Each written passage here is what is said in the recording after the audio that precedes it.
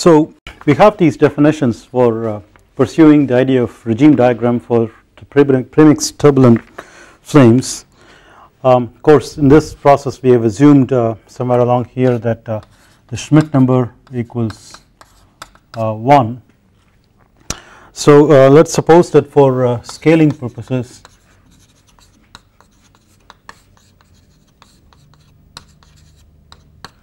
um, take the turbulent dissipation is uh, v prime cube divided by the integral length scale um, could only show typically that it is of the order of but let us suppose that we take it is equal to then uh, then putting things together essentially what you are looking for is uh, an expression for v prime over SL uh, in terms of non-dimensional quantities.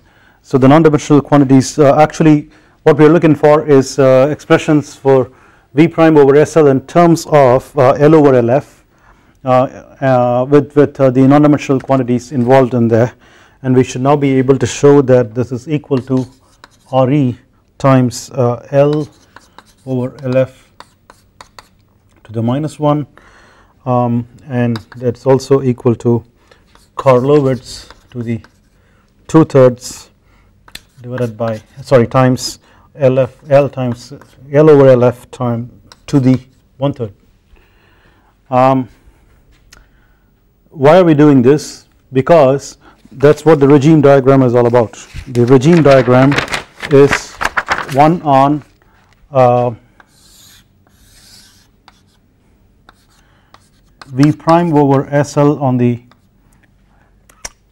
vertical axis plotted against L over LF.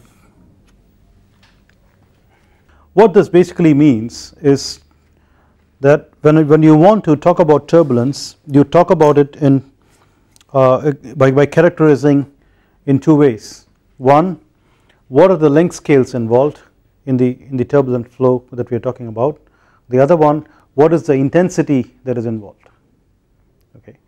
So these are these are two things. Essentially it is sort of like in a time uh, signal kind of thing. What you are talking about is what are the frequencies involved and what are the amplitudes involved right. So these two things essentially indicate that. And in both the cases and for both the parameters what you are looking for is to compare these two with their corresponding flame related quantities. That means we are saying can we now look at the turbulent length scales in comparison with the flame length scale like the flame thickness right. So are we having typical eddy sizes that are that are bigger than or smaller than the flame thickness right? That is on the one side as far as the scales is concerned. And as far as the intensity is concerned uh, when you now have a flame that is trying to propagate at a particular speed if the flow that is out there is now fluctuating right at, at a certain intensity um, if, if the fluctuation is very very small that as, as the flame is beginning to propagate it does not really go through any jitter. It just uh, this is so small that, uh, that the flame can just go through without even realizing that it, it went through a, a, a fluctuation right? Then you do not really have a turbulent flow at all. Or in other words if you now had significant amount of intensity intensity that means the amplitudes are very large right? Then the flame is going to now go through uh, fluctuations correspondingly. Therefore how, how are these fluctuations the fluctuation in turbulent fluctuation intensity how is it com comparable to the flame speed itself right. So these are the, the, the two things by which we want to compare um, characterize this. So we will will now have uh, values thrown in on a log log plot this is actually a, a logarithmic diagram so we will now look at uh, 10 to the minus 1 10 to the 0 10 to the 1 10 to the 2 10 to the 3 etc or maybe just one more space for 10 to the 4 and uh, similarly over here could actually look for something like a squarish picture. Uh, 10 to the minus 1 10 to the 0 10 to the uh, 1 uh, 10 to the 2 10 to the 3 and so on. Okay. And uh, what we want to point out here is the relationship between V prime over SL and L, L, L, L over LF through Reynolds number is one of a inverse relationship right? That is this goes this 1 over that and with a Reynolds number as a coefficient. And therefore uh, uh, uh, we would actually like for, for a normal plot it should actually be like a rectangular hyperbola that's, that's forming the relationship between V prime over SL uh, to L over LF for constant Reynolds number. But uh, uh, this is actually a log log plot. So in a log log plot this actually shows up as a negative a straight line with a negative slope. And in, in uh, this particular um, exercise what we are trying to do is to have for example in this case this involves like the Zeldovich scaling and we are using a Zeldovich uh, number or uh, value of about 10 and, and that is something that we have talked we have seen long ago when we are trying to scale the um, premix flame thickness to find out how much is the reaction zone thickness going to be relative to the preheat zone thickness. And so correspondingly uh, we now expect that uh, a, a Reynolds number of 1 a constant Reynolds number of 1 line um, is going to be uh, a straight line in the log log plot with a with a slope that is inclined downward uh, for r equals 1 and this regime now is essentially what we call as laminar flame. That means with the turbulent Reynolds number defined this way uh, this line corresponds to r equals 1 anything greater than r equals 1 forms this region to the right of and above of this line. And anything that is to the left of and bottom below this line is um, laminar right. So that means for turbulent flames we are essentially interested in all of this regime uh, that is uh, that is point number 1. Then the next thing that we have to look for is how is V prime over SL related to L over LF uh, through Karlovitz number. So can we now plot constant Karlovitz number lines and the answer is uh, this is actually going as one third of that and uh, therefore in a log log plot it is going to be a straight line with a slope of 1 over 3 alright uh, and, the, and the line is going to go upwards. So we start the start doing this at uh, this point uh, corresponding to 1 over here. And uh, now draw a line that is Ka equal to 1 and Karlovitz equal to 1 we now start from this point. So we now have this entire turbulent combustion regime. At the moment divided into two parts right? One which is having a Karlovitz number less than 1 and another one that where the Karlovitz number greater than 1 and in both the cases the Reynolds number is greater than 1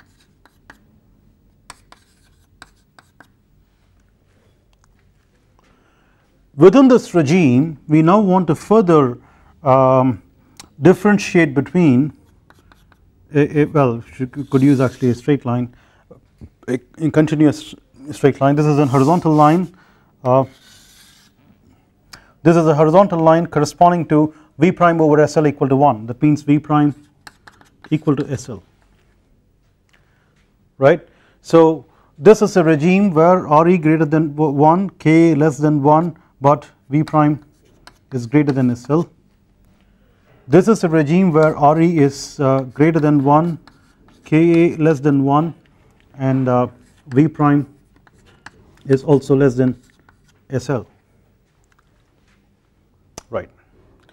And finally we want to now look at the situation where the second Karlovitz number is, is uh, greater than 1 right so we now have a, a, a, boundary and that is also going to go the same way because Karlovitz number this is basically delta, delta squared Karlovitz right. So they are directly related. So uh, V prime over SL in terms of uh, delta uh, Ka delta is going to also have a one third relationship for the L over LF alright uh, with simply a different coefficient delta squared. Therefore um, you, you will have the same slope but then it starts at around 10 because we are looking at a Zeldovich scaling of 10 and uh, uh, so I mean these, these, these things could be a little bit off this way that way. Okay? But essentially we are getting the picture like, uh, like this depending upon the value of your Zeldovich number. Uh, and this this line corresponds to Ka delta equal to 1 therefore this is uh, Re therefore you know go back and say Re greater than 1 Karlovitz greater than 1 but Karlovitz delta less than 1 and here we now have Re greater than 1 Ka greater than 1 Ka delta. Well, let us just use this space. Uh, Ka delta greater than 1. So that means we now have 4 regimes that we have marked. One based on um, Karlovitz less than 1 but V prime greater than or less than SL okay we have got 2 and when Karlovitz is greater than 1 we still have Karlovitz delta less than or greater than 1 so that is how uh, we, we are splitting this. So what is the significance of doing it this way? Um, the answer is we are now going to uh, now call this the wrinkle flamelet wrinkle flamelet regime and we are going to call this the corrugated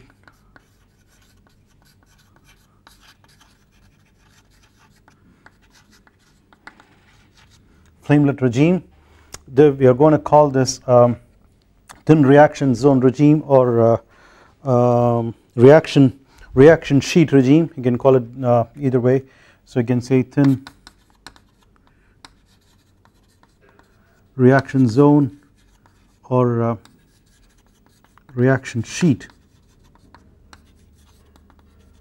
regime and this is what this is what you would call as broken uh, flame flamelets regime uh, or, or the well stirred reactor regime. It is differently called in different textbooks uh, in this way.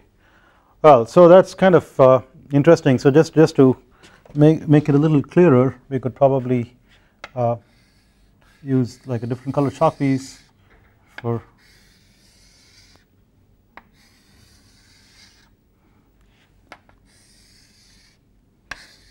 the four lines that we are talking about that, that, that demarcate these five regions and uh, so why are we the question is why are we calling these what they are right. So now let us think of think about what happens in each of these cases. So uh, the first one is the wrinkle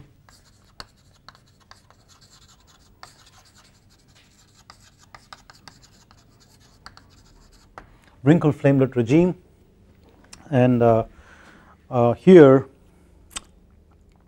we are having situation of Re greater than 1 Ka less than 1 and uh, V prime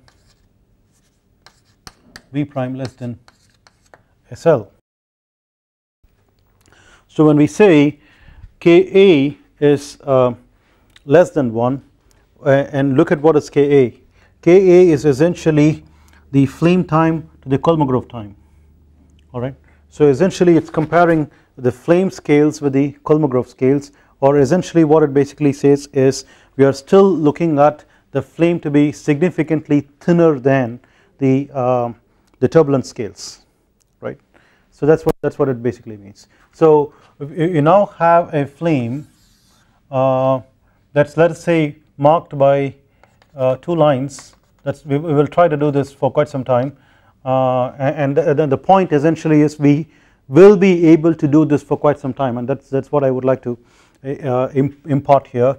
These two lines are essentially this this this this line is like the reaction zone the the the thickness including the thickness of the reaction zone and the dotted line is actually the upstream edge of the preheat zone so the preheat zone is spanning the thickness corresponding to this distance between these two lines and uh, the thickness of this continuous line itself represents the reaction zone right. So effectively in a one dimensional flame you would have the reaction zone and upstream of it you will have the preheat zone. So the upstream edge of the preheat zone is what is marked by this broken line. But we are now talk showing it as curved because what we are basically saying is this is now interacting with an eddy that is going around like this. So it, its uh, uh, tangential velocity is Vn depending upon the uh, eddy size. And uh, th this flame is now propagating uh, locally normal to itself with a flame speed SL right. And since you are having a situation where V prime is still less than SL uh, the intensities are significant to make the turbulence felt by the flame unlike in a laminar flow but still not enough to penetrate the flame or do anything more. All it does is to basically make the flame wrinkle around the eddy right? The flame is too thin and then so the, the whole of the flame is too thin okay? Uh, we will now progressively get to the point where the eddy sizes are smaller when compared to the flame thickness or uh, the flame is becoming thicker when compared to the eddy sizes whichever way right? And then things are going to get a uh, little bit more complicated. So the next regime for example would be the corrugated.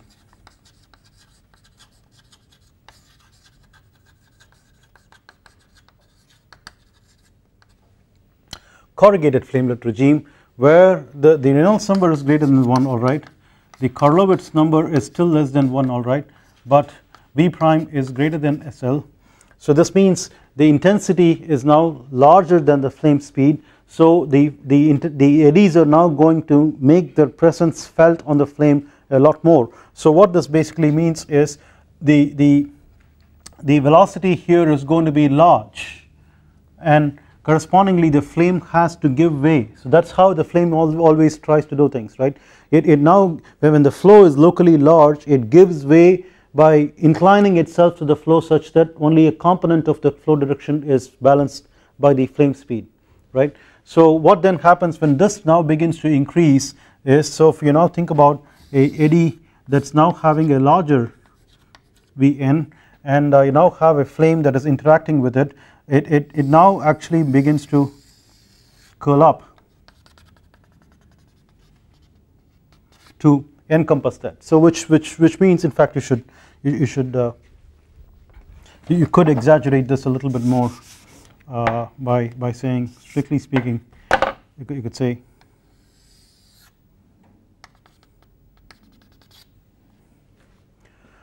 that means you know the the the corrugation in the flame can now house an eddy comfortably. Right previously we did not have the flame corrugated so much but now you have a corrugation of the order of the eddy size right? So that is the reason why it is called a corrugated flame. Then we now get into the thin flame thin reaction zone uh, or the or the uh, reaction sheet regime. So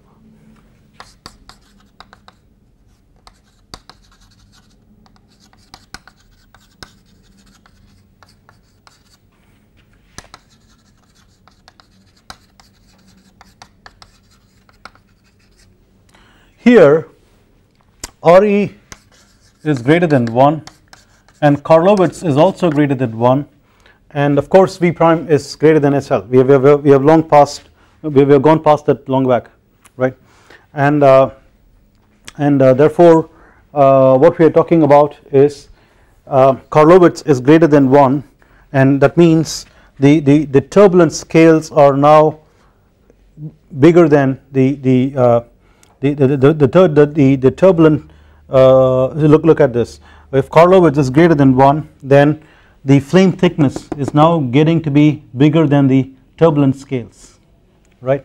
So what that really means is you are now going to have a, a flame that is having a preheat zone starting out like that but you now have an eddy that is that is big enough to penetrate the, the, the preheat zone and uh, then the preheat zone thickens. Why does the preheat zone thicken is because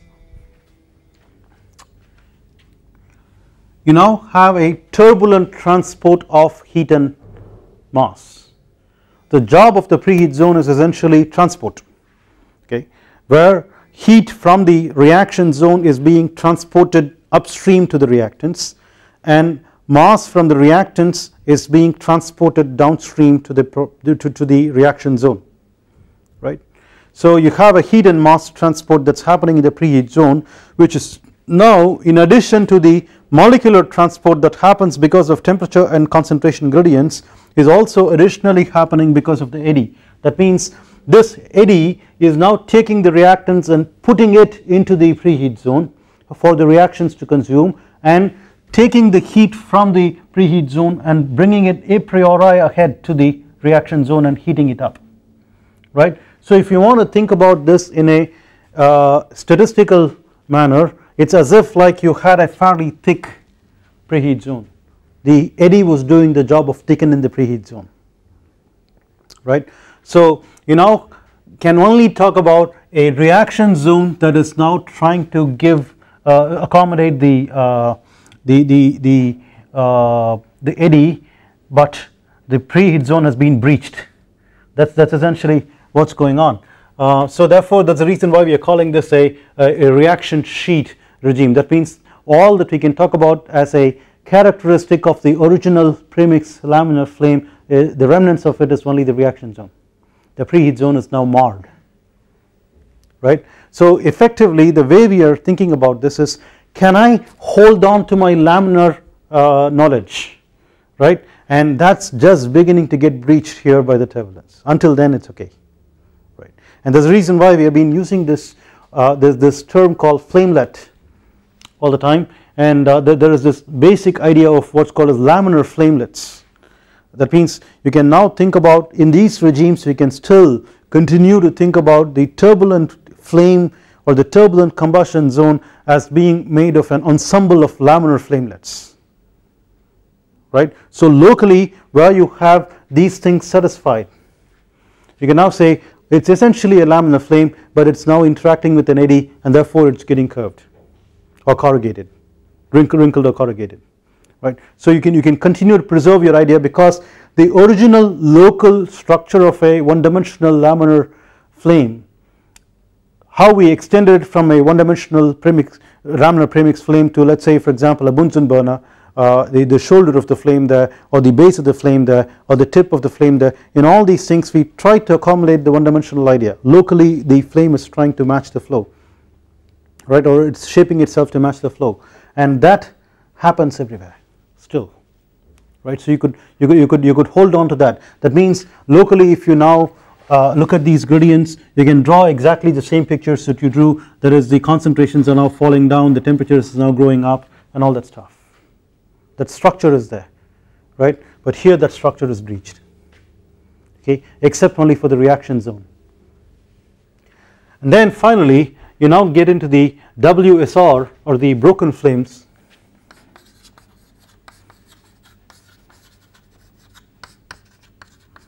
the well stirred reactor the WSR regime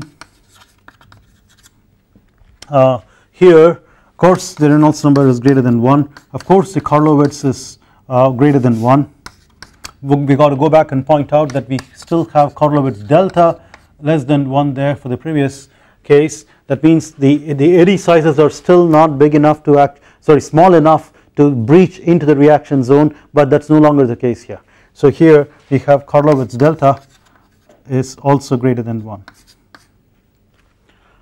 right.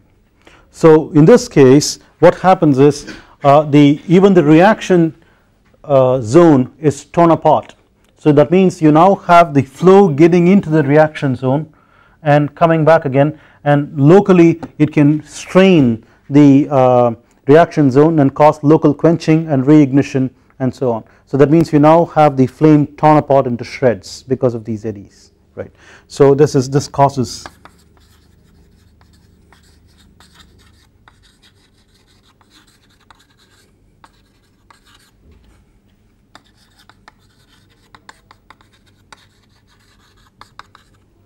local quenching and reignition events.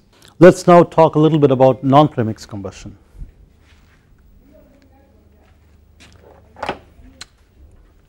So non-premix turbulent flames uh, I'm, I'm, following Peters here and uh, there is more work that's been done further out in more in, in uh, uh more recent past but I'm not covering that material as far as this is concerned. Now the problem with non-premix combustion regimes is um, we don't have a characteristic flame speed here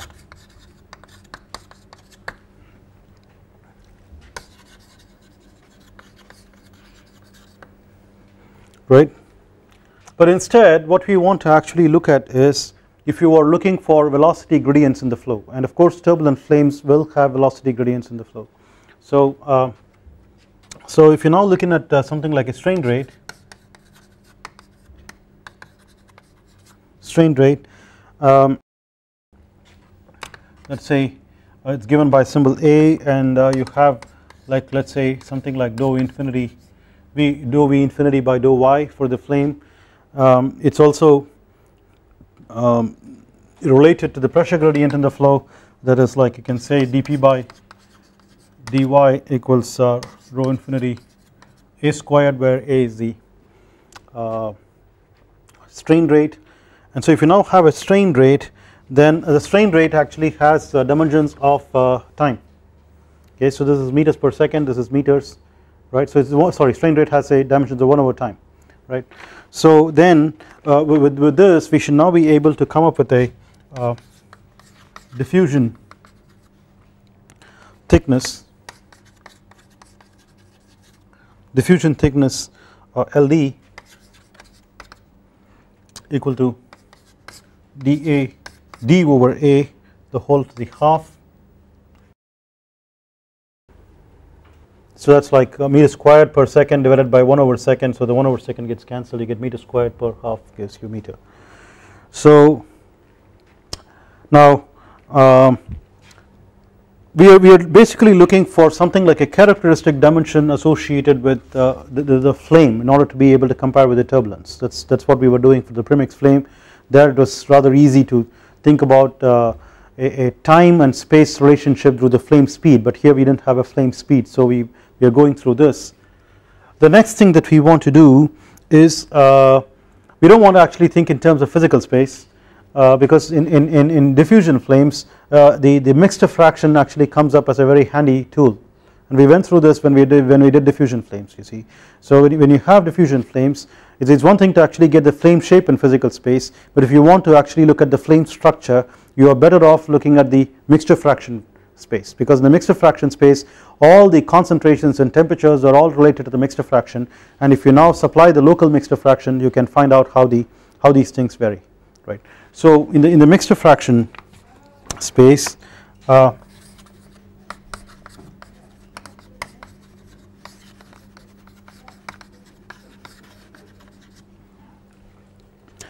we can now have a corresponding uh, uh, diffusion thickness that is corresponding to the diffusion thickness that we have defined uh, LD diffusion thickness in the mixture fraction space now is let us suppose we call this delta Z F. Again the, the subscript F is corresponding to flame here uh, because we are looking at uh, the diffusion thickness around the stoichiometric surface right? Because you have the flame and then you now have a, a certain length scale associated with the flame that the eddy wants to interact with right. So the in the mixture fraction space it is always about the stoichiometric mixture fraction where the flame is therefore what you are saying uh, what we are what we are looking for is the, the conversion from the physical space to the mixture fraction space goes through the modulus of uh, uh, the mixture fraction uh, modulus of the gradient of the mixture fraction at uh, stoichiometric condition uh, times LD and uh, we also had the scalar dissipation rate. So scalar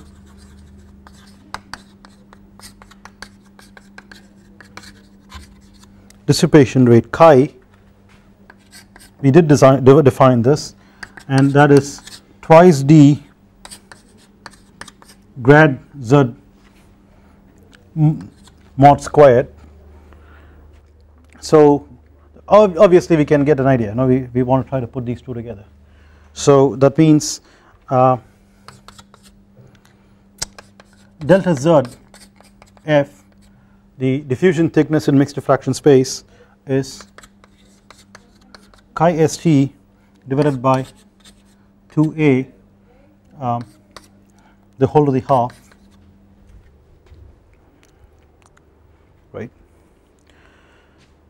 Now if you want to just make this a bit simpler um, what you can do is you can now expand chi st about chi about uh, uh, chi st for small values of z and then approximate. Let us say let us not say or, or let us say the z is not varying too far out from zst um, right? And then chi depends on z therefore you expand chi um, about chi st for small values of z. That is like a Taylor series approach. So expanding.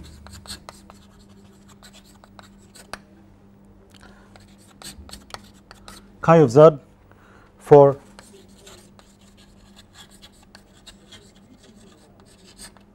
small values of z. About chi st and uh, when you say small values of z that means we are approximating uh, so we can show that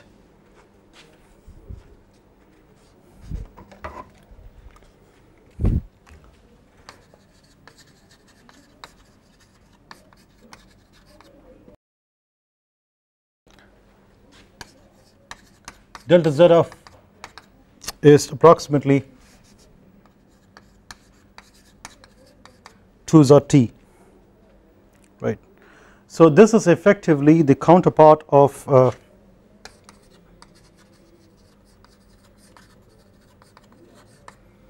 counterpart of LF in premix flames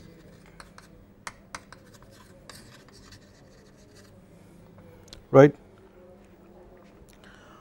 and uh, should be basically point out that this is mostly the preheat zone.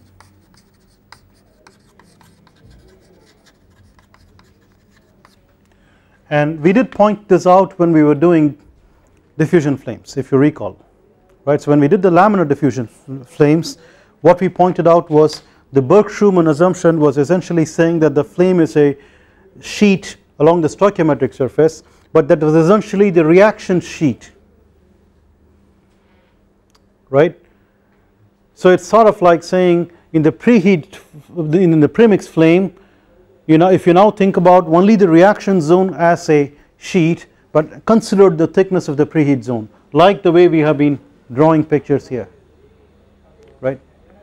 Then what happens in the in the Burke-Schumann problem? You have a flame that is a sheet which is like a reaction zone and you do have the transport going on that is mixing of uh, fuel uh, an oxidizer and uh, heat. All these things are going on outside of this sheet. And if you want to think about what happens to the reaction rate the infinite reaction rate uh, assumption is the one that says that the reaction rate is almost infinite here but if you now try to zoom in and then clarify this reaction zone uh, like we would we, we would do in the preheat, preheat premix uh, flame uh, then we would find that it's essentially the reaction uh, rate that is going to be uh, peaking only at this sheet similar to how we did in premix flames right. So effectively in most of these we have been mainly interested up to here we have been mainly interested in the premixed flame regime diagram what is the preheat zone doing relative to the eddies right. So similarly if you are now thinking about a corresponding diffusion thickness for the flame we should be worried about this in the mixture fraction uh, space this which is this um, how is that going to actually interact with the eddies and that is like the counterpart of mostly the preheat zone of the premixed flame. And here again the, the, the laminar ideas are coming back to, to help us. Now the reaction zone thickness on the other hand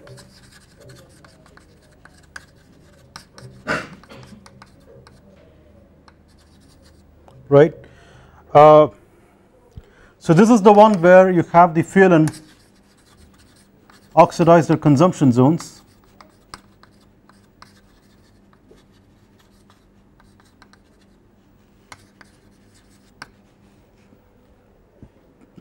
right?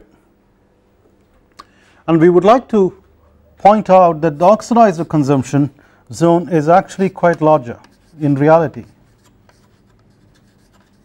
That is that is what we are saying is if you now do actual chemistry right the, the, the detailed chemistry for let us say methane or flames or something what you should find is the oxidizer significantly leaks out of the reaction zone to a farther distance outside into the field region.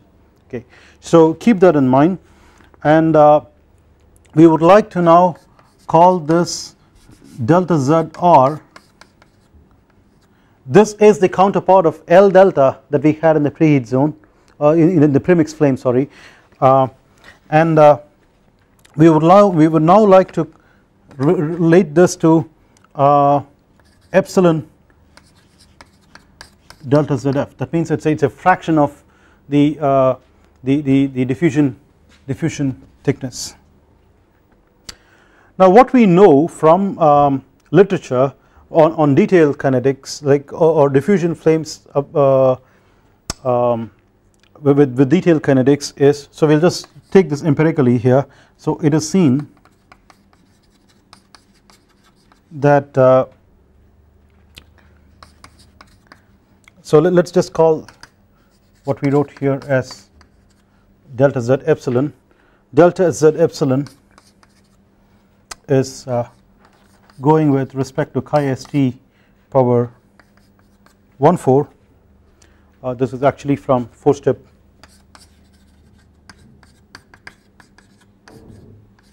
methane air chemistry calculation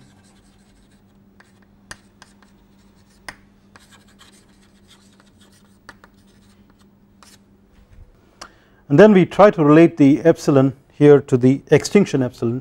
So by scaling epsilon with epsilon q at extinction.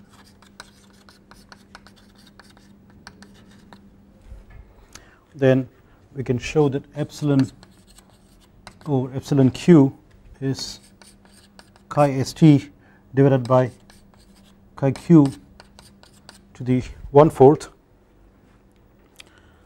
and therefore uh, can this right here delta zr divided by delta z f is epsilon q chi st divided by chi q to the 1 fourth. Now the reason why we want to do this is this is actually the one that gives you L delta divided by L that is a counterpart in the premix flames that we saw which is what is the length scale corresponding to only the reaction zone thickness uh, sorry L, L delta divided by LF where uh, so as I said this is the counterpart of LF and uh, that is this and this is the counterpart of L delta okay from, from, from preheat zones. So we are kind of doing something very similar here uh, as, as what we did for the preheat zone so premix flames. So what we want to plot here is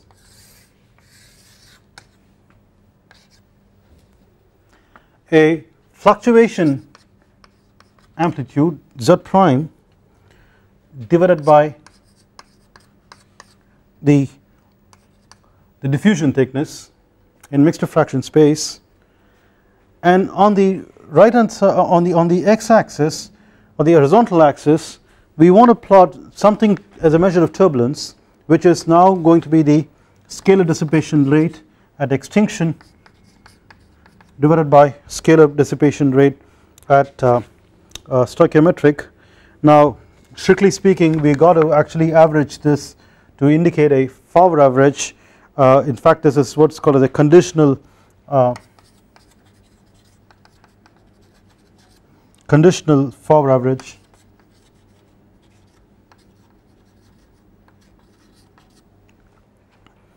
uh, scalar dissipation rate.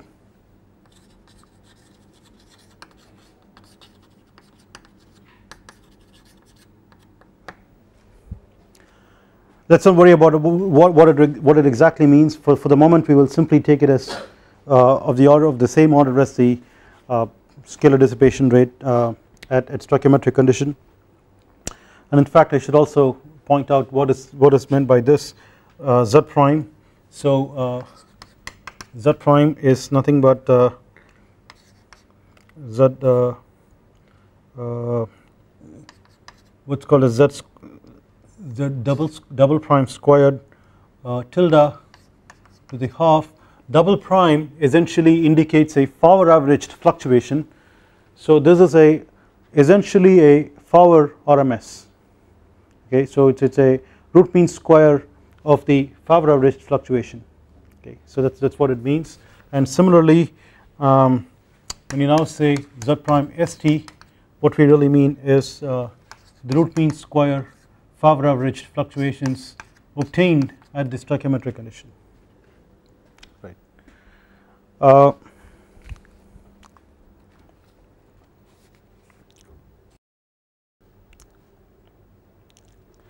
now if you're uh, so now let's let's put some numbers here. So we can say 1 or, or 10 to the 10 to the 0 uh, um, 10 to the 1 10 to the 2 etc there. And then let us say so this is 10 to the minus 1 we will start with 10 to the minus 2 on the y axis 10 to the minus 1 um, 10 to the 0 10 and 10 squared and so on.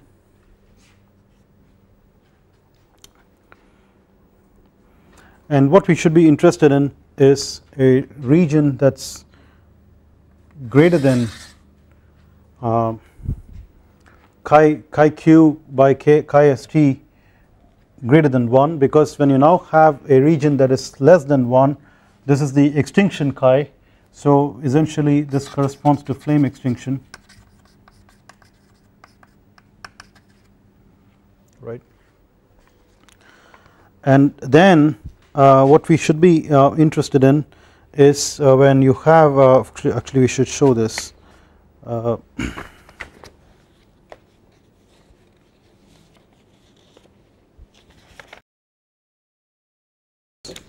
so uh, we, we have z prime st divided by delta zf going as chi, chi q over chi st you can see that here. Um, you have a this this is opposite so you have a minus 1 over 4 uh, in a log log scale. So uh, starting from here you now go through a, a, line that is like this. So this is z prime uh, in fact you should say zst divided by delta zr uh, equal to 1 and this is slope.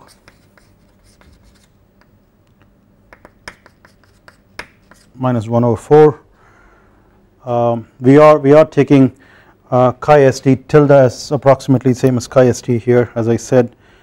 And uh, then you also have one more situation where you're looking at similar to previously where we had u prime was com comparable to SL and ZST prime is comparable to delta S so that's here. So this is uh, uh, ZST prime equal to delta ZF. So that now uh, breaks up things into four parts. Uh, one is uh, so the flame extinction is one region. Then we have what's called a separated flames uh, connected flames and uh, connected reaction zones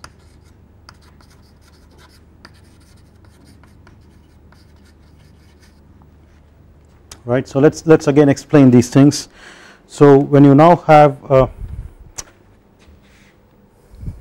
so when you now have for example uh, ZST uh, greater than delta F right?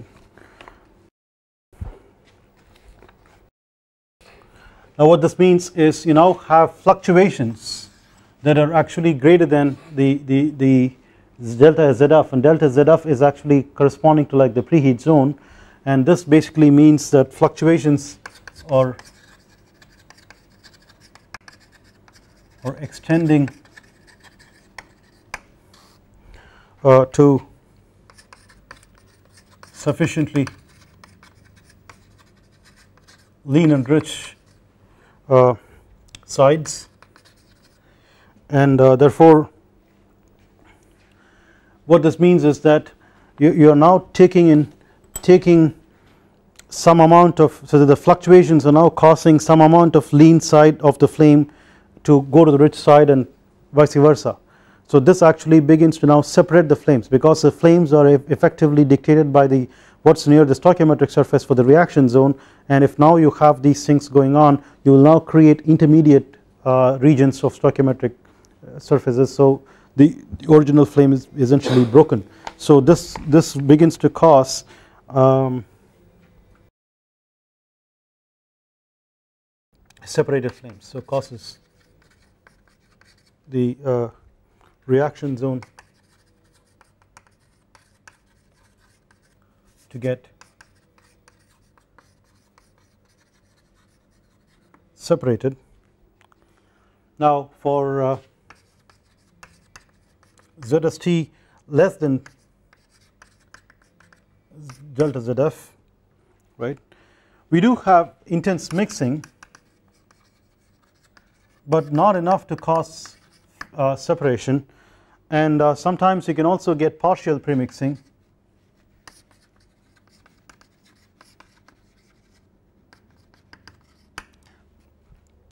So what this what this means is you can have the reaction zone move around without really getting disconnected but you will now have the preheat zone have the sense the fluctuations. So effectively then you don't you don't really have uh, disconnected reaction zones. So uh, this is essentially connected flames.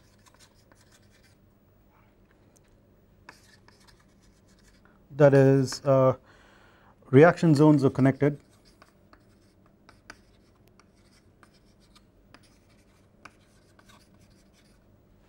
And finally for uh,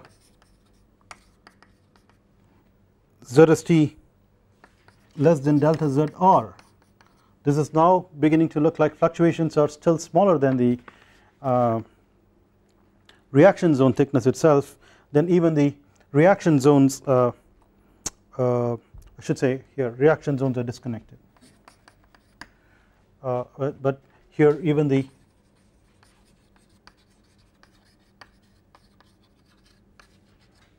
or connected. Now uh, what it turns out is actually you can sense these things completely in a jet diffusion flame. So if you now think about a jet diffusion flame uh, along its axis then the, the jet diffusion flame axis actually goes through these different regimes as you go along this and come down along here. So you can now see these different regimes exist in a jet diffusion flame corresponding to this. We will stop here and pick up from here some, uh, on some other day.